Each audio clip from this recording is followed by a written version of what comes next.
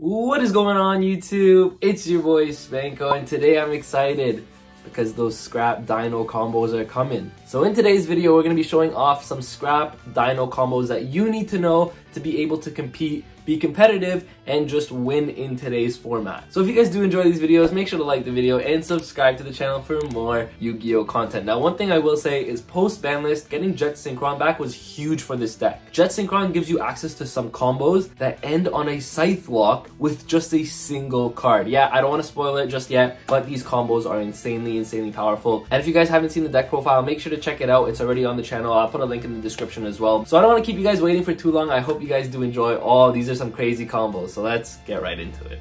Okay, so for our first combo over here, all you need is a Scrap Raptor. Literally a single Scrap Raptor you have four cards in hand. You just need one to discard. Doesn't matter what you discard, but a single Scrap Raptor is going to get you into a full combo that essentially just locks your opponent out of playing the game. It's so crazy. And all because Jet Synchron just came off the new ban list. So Scrap Raptor is all you need. Now the nice thing about this combo that I want to say is you're playing three Scrapyard in your deck. So you have six copies of Scrap Raptor and you have three Fossil Dig. So you actually have nine copies of Scrap Raptor if you need. And if this is your best normal summon in your hand, like if your hand is kind of awkward, like you have an Ultimate Conductor Tyranno, a Double Evolution Pill, like you don't have the most optimal hand, Scrap Raptor is all you're going to need. So you're going to normal summon it, you're going to activate its effect to pop itself, it's going to trigger and it's going to get to search you a Scrap Chimera. So you're going to get to Scrap Chimera here and you're going to add it to your hand. Now, because Scrap Raptor uses the effect to pop a card, you can get an extra normal summon for a Scrap Monster. So here you're going to use your extra normal summon and you're going to summon your Scrap Chimera. Chimera is going to trigger here to summon back your Scrap Raptor. Now you're going to link the Scrap Raptor and the Scrap Chimera. Raptor's a tuner, by the way, so you're going to link these two off and you're going to be able to summon your Crystron Halqifibrax. Hulk is going to activate here and Hulk is going to get to summon you a Jet Synchron, the card that essentially broke this entire combo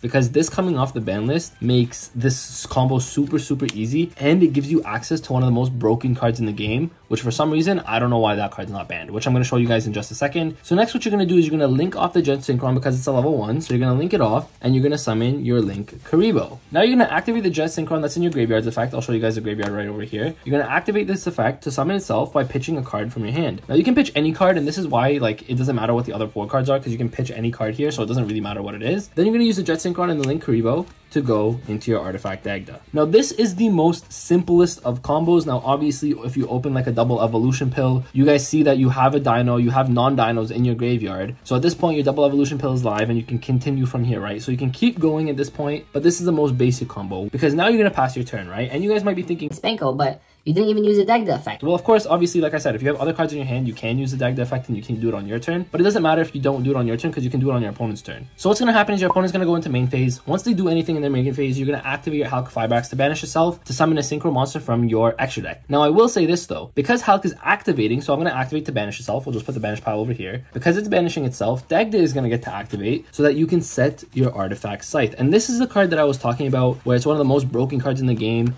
No clue why this card is even still legal. And on top of that, they brought back Jet Synchron, which makes this a one card combo. So now you get to set your artifact Scythe and your will resolve and your Hulk is going to summon a TG Wonder Magician. Now, TG Wonder Magician on summon is going to get to pop a back row card. So you're going to pop the Scythe, you're going to activate the Scythe in your graveyard to special summon it, and now it's going to trigger to lock your opponent out of their extra deck completely. Now, you guys might be wondering, okay, so Spanko, you just locked your opponent completely out of their extra deck, you just Scythe locked them, what are they going to do at this point? At this point, you still have three cards in your hand, but what if they have an answer to Scythe? What if they have an Imperm in their hand? What if they have a Forbidden Chalice in their hand? What if they have a Droplet and they just pitch one card, you know, for a Droplet to negate the Scythe? Cool.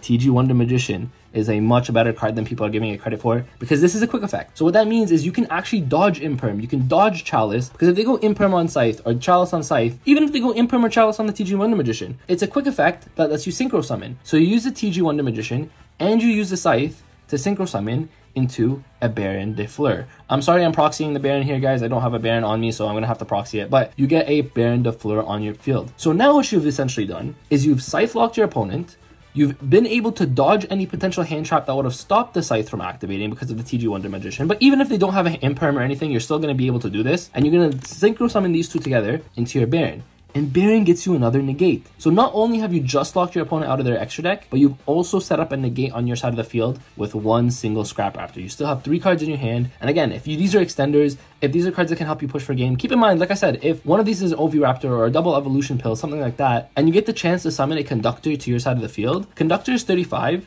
Is 15, Baron is 3k, which is exactly 8,000 damage. So if your opponent doesn't put up any monsters or only puts up one monster, you can use the Baron effect to pop a card they control, and then you can just go for game just with this. You don't even have to do anything else after you summon the Conductor if you have a chance to get to Conductor, and then you have game in that sense. So this is crazy because this is a one card combo. Okay, so the next combo is a two card combo involving any two of these cards. Keep in mind, Fossil Dig also is one of these cards. So if you have Oviraptor Fossil Dig, Baby Fossil Dig, Misk Fossil Dig, you can do the same thing. So keep in mind, there's a, th this is why this deck is so good, is because there's so many different ways to get to the combo, and there's so many different variations, but at the end of the day, they all do the same thing. So no matter which two card combo you open, if you open Baby Misk, if you open Baby Ovi, if you open Ovi Misk, it's all going to be the same combo. All that changes is a little bit at the beginning of the combo, but you get to these three cards no matter what, and you're fine, okay? So we're going to do here with Ovi Baby. So here what you're going to do is you're going to normal summon your Oviraptor, okay?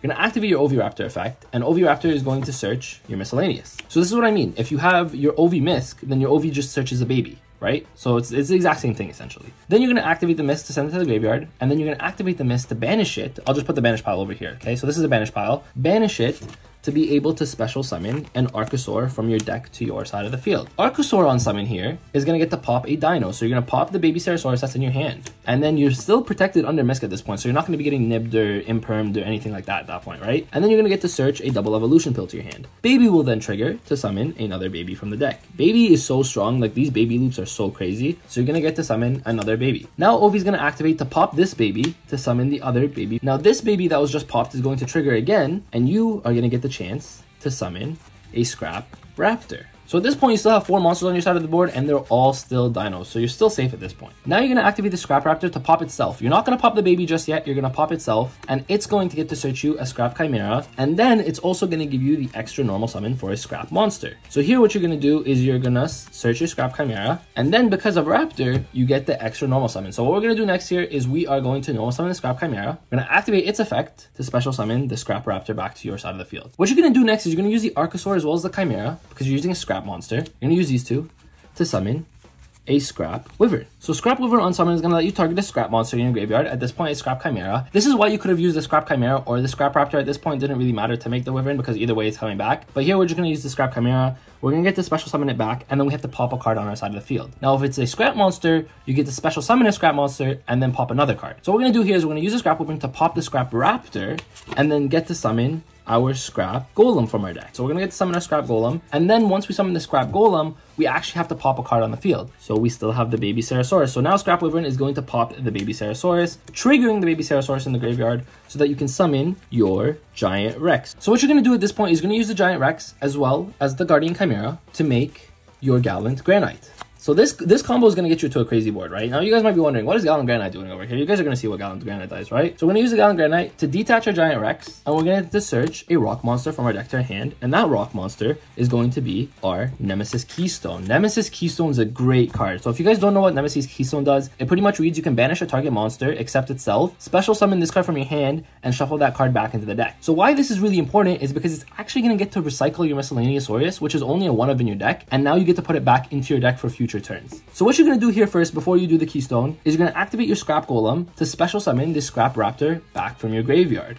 Do you guys see where we're going with this? We'll just keep reusing the Scrap Raptor as well as the Baby Ceratosaurus to keep summoning themselves back. So once you get to this point, there's multiple things you can do. You can do an Apollo with four negates, but I actually just like to go with Apollo with three. So what you're to do here is you're to use the Scrap Wyvern, the Scrap Golem, as well as the Gallant Granite, all to make your Apollousa. Now, why this is important is because now Apollo is going to have three monster disruptions. And that's really important because you guys are going to see that the fourth one, even though you could make a fourth one, you don't necessarily need it because I'm going to show you that you can make actually a four and five if you don't make the fourth on the Apollo. I don't know if that makes sense, but it'll make sense in a second. Here, what you're going to do is you're going to activate your Keystone. Keystone has a great effect because it's going to get to put the one Miscellaneousaurus that's banished to special summon itself onto the field. Scrap Raptor's and Earth, but Keystone is also on Earth. So you're going to synchro summon these two together to make your Naturia Beast. So now you set up three monster negations and infinite essentially spell negates. So that's what you get from here. You still have the double evolution pill still in hand. So what you're going to do is you're going to activate your double evolution pill to banish any non-dino. So we can banish Gallant Granite, but we're also going to banish the Giant Rex in the graveyard to summon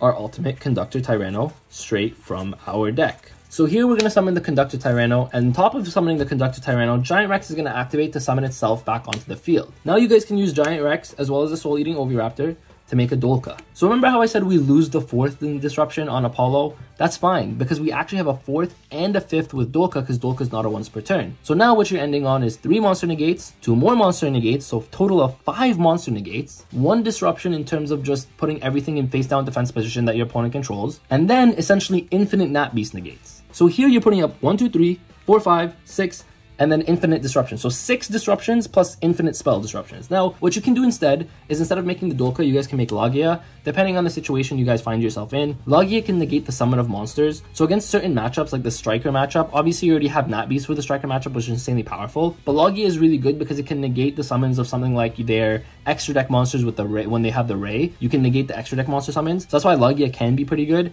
This only puts you one disruption, whereas Dolka puts two disruptions. But it depends on what you need. It's like either way, one or the other, you're putting a ton of disruptions on the board. And this is just a two card combo. Now I'm going to show you guys another two card combo that's essentially the same thing with the same two cards, but it ends on a different board. And what I mean by that is you can still use OV Baby, but you can also use like OV plus Misk. Like I said, it doesn't really matter which ones you open. As long as you're starting with two of these three, it doesn't really matter. So it, like, let's just go OV Baby again, or actually I'll just go Misk Baby. It doesn't make a difference because no matter how you go about it, it's going to do the same thing. But uh, yeah, you can go OV Baby, you can go Misk Baby, you can go Misk OV. It's all the same like I said earlier. So what you're going to do here is instead, you're just going to start off with Misk right away, and you're going to banish the Miscellaneousaurus to summon an Archosaur, right? So this is kind of what I mean by it's a little bit different the way you start, but essentially the combo is going to end up being the same thing because now Archosaur is going to pop the baby and then going to search you a double evolution pill. Uh, baby's going to trigger to summon your Ovi. Now, this is why you summon Ovi off baby now because Ovi is going to get to search and Ovi is actually going to get to search your other baby. Now at this point, you actually still haven't used your normal summon. So all you got to do is normal summon baby, and then you have Ovi to pop baby, summon baby back. So you guys can see that this is the exact same combo essentially as last time, but you just started off with a different hand, but it's the exact same like combo line essentially, right? So here, because you pop this baby, you're going to use the baby effect to special summon a Scrap Raptor from your deck. Okay, so you're gonna summon the Scrap Raptor. So this is essentially the, the, very similar combo. It just ends on a different end board, and I want to show you guys different end boards you guys can make. And that's the nice thing about this deck. It's not very linear. There's not one way to do things, right? So what you can do now is you can activate the Scrap Raptor to pop itself, of course, to search your Scrap Chimera. Then what you're gonna do now is now Raptor, of course, because it activated its effect, gives you an extra normal summon for a Scrap monster. So you're gonna summon the Scrap Chimera, and Scrap Chimera is gonna get to summon back your Scrap Raptor. Now at this point, you still have five monsters on the board, and you guys can go back into the combo that I showed you earlier, but you guys can also do a different combo as well. What you guys can do here is you can actually use your Scrap Chimera as well as your Archosaur to go into your Scrap Wyvern. So here what you're to do is you're to activate the Scrap Wyvern, summon back the Scrap Chimera. Scrap Wyvern is to activate to target the Scrap Raptor. You're to pop it. You're to get to summon Scrap Golem. And then Scrap Wyvern is going to have to pop a card in the field. And you're going to pop the Baby Ceratosaurus. And Baby Ceratosaurus is now going to trigger. Like th this, the synergy here is just so crazy. I don't know. The synergy here is just so crazy. But you're going to get summon Giant Rex off of your baby, okay? This is the same thing as last time, but it's going to differ up a little bit here in a second, right? So at this point, they can argue like, oh, okay, we can just nib you here. We can just stop you here at this point, right? After they've already used their initial hand trap or after they've already tried to stop your combo the first time. Here you can actually just go straight into Dolka if you wanted to with these two and then keep going from there. But you don't have to because think about it. You can, I'm just going to show you guys this. You don't need to do this, but you can just go into, into Dolka and then you can use one, two, three into Apollo. So you can end on Dolka Apollo with Pill, which ends on like this Conductor. So you can end on Dolka Apollo Conductor. Same exact thing. But uh, I want to show you guys a little bit of a different way where you can still Scythe Lock your opponent here, right? So what you're going to do is you're going to activate your Golem now because you have the Scrap Raptor in your graveyard to summon back the Scrap Raptor. Then what you're going to do is you're going to use the Scrap Raptor as well as the Scrap Wyvern to link into your Crystron Halqifibrax. Hulk is going to trigger to summon your Jet Synchron.